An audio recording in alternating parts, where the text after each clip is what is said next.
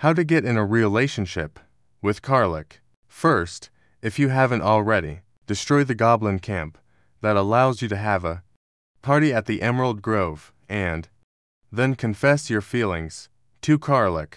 Make sure your relationship is above low and abracadabra, you have a relationship. Subscribe.